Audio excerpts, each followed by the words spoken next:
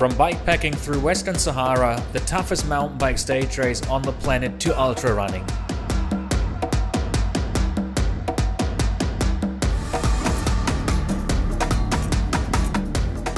For years now, I always keep looking for the next bigger challenge.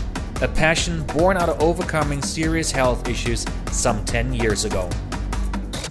My next adventure will take me across all seven continents, from the heat of Africa to the unhumane cold in Antarctica, in a never before tried attempt to Everest all seven continents.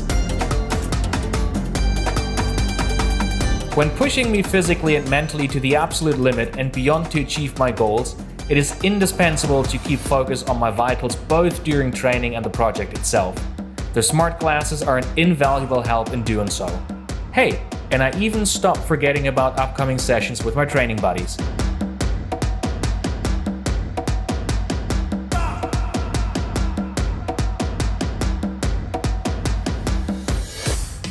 The Girona region offers the perfect training grounds for me and I can push myself to the limits but an illness could be a serious setback in this stage of the Everesting preparation.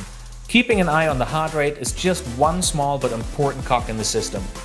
Part of the body maintenance is also to stay injury free. Therefore, my smart glasses gently remind me to not forget my stretching sessions and keep track of what still needs to be done.